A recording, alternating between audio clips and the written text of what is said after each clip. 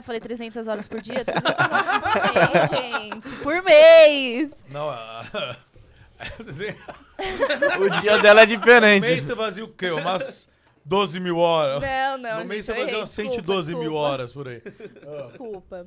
O terrom pra conselhos. Sim, e o gato em questão de te levantar, sabe? De te elogiar, de estar presente lá com você. Que se tiver que falar alguma merda, ele vai falar. Se tiver que elogiar, ele vai elogiar. Tanto que quando ele veio aqui, ele falou bastante de mim. Ele me elogiou bastante. Hum, você ficou acompanhando, então. Óbvio, né? Hum, pra ver o que ele ia falar, né? Óbvio. Ah, e foi como você falou, pra ser torcedora da Loso, você não, não precisa ser uma influenciadora da Loso, né? Exatamente. Que você já falou, se a gente falar em Loso, você fala, ah, é o time que eu amo e tudo. Nossa, É, ela não sim. precisa ser uma influenciadora da Luz, mas ela vai. Se ela entrar na Loud, ela vai torcer pra Luz?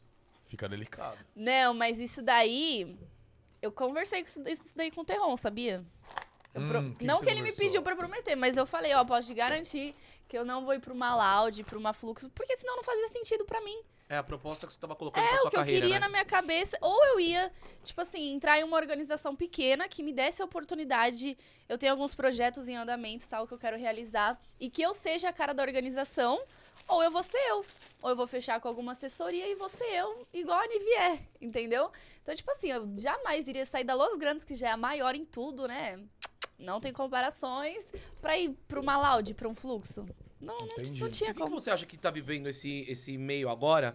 Porque, se eu não me engano, a galera lá da Loud não tá mais com casa. Se eu não me engano, a galera também de influenciadores do Fluxo. Não sei como é que tá a Luz. A Luz é a única que realmente eu não sei se eles continuam com os influenciadores lá ou não. O que, que você acha que aconteceu pra uma galera que consumia tanto conteúdo dos influenciadores pra as organizações de repente ver que, entre aspas, não vale mais a pena manter, uma- manter essa estrutura? Então, esse também foi um dos motivos que me pegou muito, porque eu não, não produzia mais conteúdo pra org. E as outras organizações também não são mais assim. Todo mundo parou. Exatamente, não tem mais GH de influenciador. Mas eu acredito que o que interferiu nisso, mano, de verdade, assim, foi o TikTok. Vídeos curtos. Que aí a galera começou a se Foi interessar. pra lá, né? É, e parar de assistir vídeo longo. Não